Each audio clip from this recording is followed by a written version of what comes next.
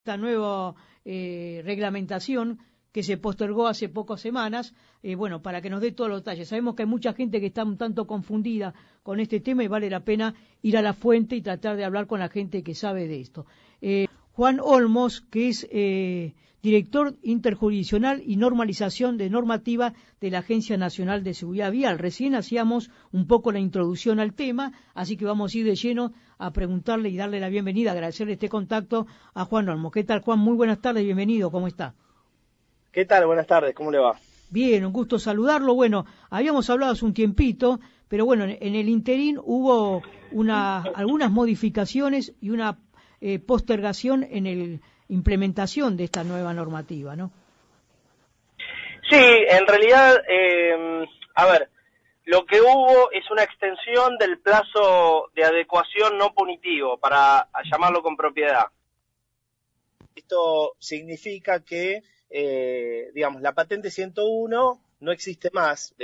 mucha gente piensa que lo que se está prorrogando es el uso de la patente 101. No, esa no existe más. Hoy andar con esa patente no tiene ningún sentido. Ahora, si en un control operativo alguien lo detienen con la patente 101, o sea, sin patente, en realidad este, no lo van a infraccionar, pero eso no quiere decir que este, no tenga que hacer el trámite. ¿Me explico? ¿Cómo? Eh, habíamos hablado en una oportunidad y creo que eso sigue igual, que está la categoría O1, O2 y O3. La categoría 1 para los trailers más chicos, que prácticamente sufren pocas modificaciones, pero eh, también eh, hasta qué plazo tienen para ahí sí que se implemente la, la, normativa, hasta qué tiempo se postergó, el O1, por ejemplo. Claro, bueno, justamente en el caso de los O1, los O1 eran aquellos acoplados que eran los únicos que podían usar la patente 101. La patente 101 fue solamente este, creada por disposición para esos trailers más chicos. Nadie más podía usarla. Esto siempre lo aclaro porque es importante. Em, en el caso de ellos, ya se vienen, este, ya hace más de un año que se viene haciendo el trámite, miles de, acoplados este, han, realizado el, trámite de homologación y patentamiento y eh, esto es lo que decía, que se extendió hasta el primero de agosto el hecho de no infraccionar este, para aquellos casos que aún no hayan realizado el trámite. E, ese, ese trámite está acompañado con una, eh, una mm, firma, mejor dicho, de, de, un ingeniero, de un técnico, es decir, la sí, siempre lo hace un ingeniero, siempre lo hace un ingeniero, y esto también es importante recalcarlo porque eh, como también, eh, digamos, un, lugar donde poder hacerlo es en un taller de revisión técnica, hay gente que piensa que si lo llevo a un taller de revisión técnica, no lo estoy haciendo con un ingeniero. No, en un taller de revisión técnica lo puede hacer porque en los talleres de revisión técnica trabajan ingenieros. Pero siempre es un ingeniero el que hace el informe técnico y no tiene nada que ver con, una revisión técnica o con una verificación técnica, dependiendo en la jurisdicción donde, cada uno se encuentre tiene distinta denominación, pero no tiene que ver, no es una verificación técnica, sino es un informe técnico que tiene que estar firmado por un ingeniero este, para, para, digamos, realizar el proceso de, de, patentamiento. ¿Este trámite lo puede hacer, por ejemplo, en la BTV, llamada BTV o RTO, como dice la ley, en un taller de esos o es un taller aparte? No, son esos talleres. Ahora, son talleres que están registrados en la Agencia Nacional de Seguridad Vial. Este, porque, digamos, eh, a ver, en este momento, eh, digamos, todas las jurisdicciones en casi todo el país este, se encuentran, eh, en casi todas las provincias, talleres que están, que fueron registrados en la Agencia Nacional de Seguridad Vial. Hay alguna jurisdicción que todavía no lo ha hecho, entonces eh, es por eso que ahí, mm, digamos, no tenemos conexión oficial con esos talleres, lo que no quiere decir que sea un taller trucho, ¿eh? ojo, lo quiero aclarar, eh, porque la potestad de habilitar un taller de revisión técnica es de la jurisdicción, la agencia sí realiza una función de, coordinación y, digamos, y los incluye en un registro nacional de talleres, pero bueno, entonces, en aquellos que están registrados en la agencia, eh, ahí se puede llevar para hacer el trámite. Aquellas personas que quieran saber eventualmente dónde lo pueden hacer, si se comunican con nosotros pueden hacerlo ingresando a la página de la agencia, que hay un botón, digamos, como para entrar y mandar la consulta, o enviando un correo electrónico a csb.seguridadvial.gov.ar, nosotros les podemos informar el listado de talleres que están repartidos en todo el país o también los contactos de los colegios de ingenieros para que puedan acceder a la nómina de profesionales que, que pueden hacer esta tarea. ¿Cómo es el correo, por favor, así por las dudas para que puedan tomar nota? Claro, csb corta sí. arroba seguridadvial.gov.ar. Perfecto. ¿Y qué, eh, hay un costo, un arancel que hay que pagarle a la Agencia Nacional de Seguridad Vial y otro por hacer el trámite en, este, en estos talleres, ¿no? Sí, los costos totales, a ver, eh, nosotros hicimos primero, lo que cobran los ingenieros no está determinado por la agencia, no podríamos hacerlo tampoco, con lo cual ahí, bueno, también hay que averiguar, obviamente, seguramente encuentren profesionales con este, diferentes tarifas como, como en, casi todas las cosas.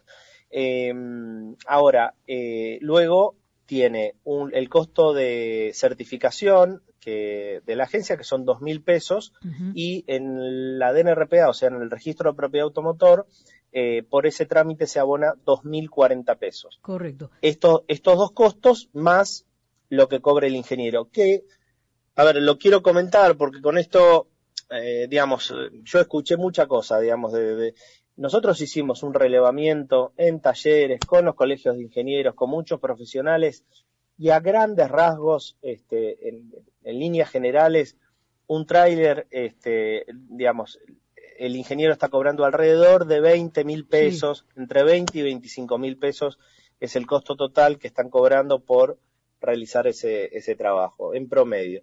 Em, así que más o menos entre alrededor de 25 mil pesos es el costo total que estaría una persona abordando por pagarle al ingeniero la certificación y el trámite de patentamiento. Correcto. Hubo una modificación, creo que en relación a la cantidad de, de matrículas de patente, de dominio del tráiler, según el vehículo que lo traccione. Sí, esto también es muy importante. O sea, en realidad, a ver, este, la disposición, la primera, digamos, que había determinado esto, fue hecha en el 2019 y, luego, bueno, hubo determinadas asociaciones, organizaciones que se acercaron con inquietudes y con, determinados pedidos. Entonces, eh, haciendo el trámite de certificación este, con un acoplado, con un solo trámite que haga, es suficiente. Con ese solo trámite yo no voy a tener inconvenientes, no voy, no voy a tener que hacer un otro trámite para este, poder circular con otro vehículo tractor. Correcto. Así que este, este, proceso, digamos, cada usuario lo va a tener que hacer una sola vez. Una consulta relacionada con los O2, si bien no depende directamente de la agencia, pero ustedes en este tema seguramente están al tanto. También se postergó para esta clase de la O2, ¿no? Sí, en realidad, a ver, con, yo, eh, como bien usted dice, si bien no depende de nosotros, eh, digamos, los reclamos que había en ese sentido era que había algunas cuestiones que tenían que, eh, digamos, para regularizar, estar, digamos, tener cierta homologación o ser, este, por, por ejemplo, el tema de, los frenos y demás. Esto, eh, lo que mm, se comunicó es que este, no va a ser, es decir, lo que se va a pedir al ingeniero que haga este, el informe técnico de un vehículo O2 es que este, los frenos tengan la efectividad suficiente para cumplir, este, digamos, para cumplir con la capacidad de frenado. Eh, pero no se está requiriendo eh, determinada homologación, este, porque un poco lo que decían es, esto me lleva solamente a hacerlo con tal taller o en tal lugar, bueno, eso, este, de hecho, hay, se difundió un cuadro este, que determina este, las, condiciones técnicas que tienen que cumplir y, nada de eso este, apunta a algún tipo de certificación o homologación este, que era el gran reclamo que había en este sentido. Eh, así que por ese lado también se facilitó digamos, la tramitación del informe técnico para los vehículos O2. Pero siempre no alcanza con el freno del vehículo tractor, tiene que tener un freno independiente, más allá de las características. Por supuesto. En el caso de los O2, sí, porque ya estamos hablando de vehículos que van hasta los 3.500 kilos, o sea, 3 toneladas y media. Imagínese que aunque yo lo esté arrastrando con una camioneta pick-up, con una 4x4, estamos hablando de que puedo estar llevando atrás con carga y todo, eh, más del peso del vehículo tractor. Entonces, eh, ya en esa categoría, eh, esto además no, es nada nuevo, digamos, esto ya estaba en la ley hace mucho tiempo, este requisito no es nuevo, esto estaba en la ley hace mucho tiempo y además esto mismo, estas mismas categorías, este, están así determinadas en otras partes del mundo, digamos, no, es ni, ningún invento argentino, ¿no? Este, y por supuesto que esos vehículos sí tienen que tener además freno propio. Claro. Juan, ¿hasta cuándo se postergó entonces para esta categoría? Eh, por lo menos no punitivo. En el, caso de los O2 y O3, eh, el, eh, desde Transporte han comunicado que se, digamos, se da un plazo de adecuación hasta diciembre del año próximo. Mientras tanto, las personas que no pueden circular con la patente 101 o no lo pueden hacer. A ver, en realidad la patente 101, como yo decía anteriormente, eh, hoy, eh, según la disposición de la DNRPA, no, no está vigente. Con lo cual, este, digamos, esta cosa dice, bueno, cuando uno dice no, no existe porque, bueno, no está vigente.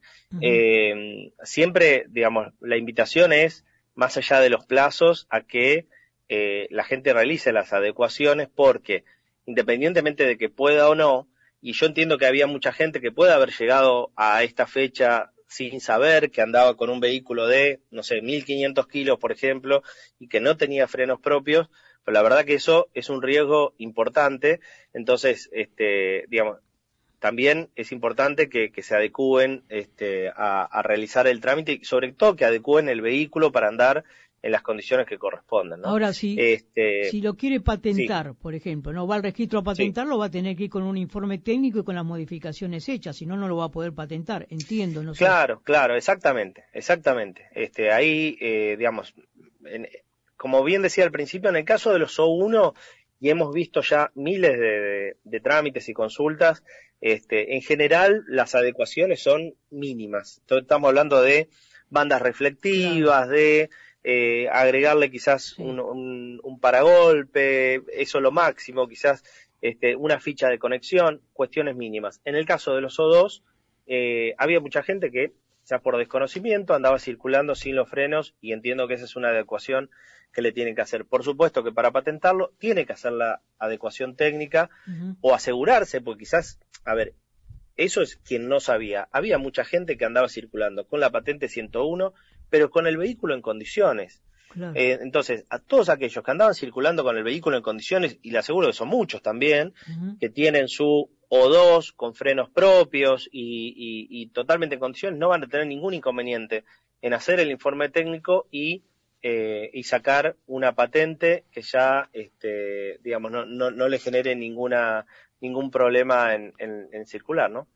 Juan eh, Olmos, agradecerle este contacto. Queda claro entonces la postergación por ahora, pero la necesidad entonces de patentar los, los trailers de distintas categorías. Gracias. Eh. Por supuesto. En el, en el caso de los O1 hasta agosto y en el caso de los O2 en adelante hasta diciembre del año próximo. Perfecto, muy amable. gracias. Gracias a ustedes. Buenas hasta tardes. Luego. Juan Olmos, que es director interjurisdiccional y normalización de la Agencia Nacional de Seguridad.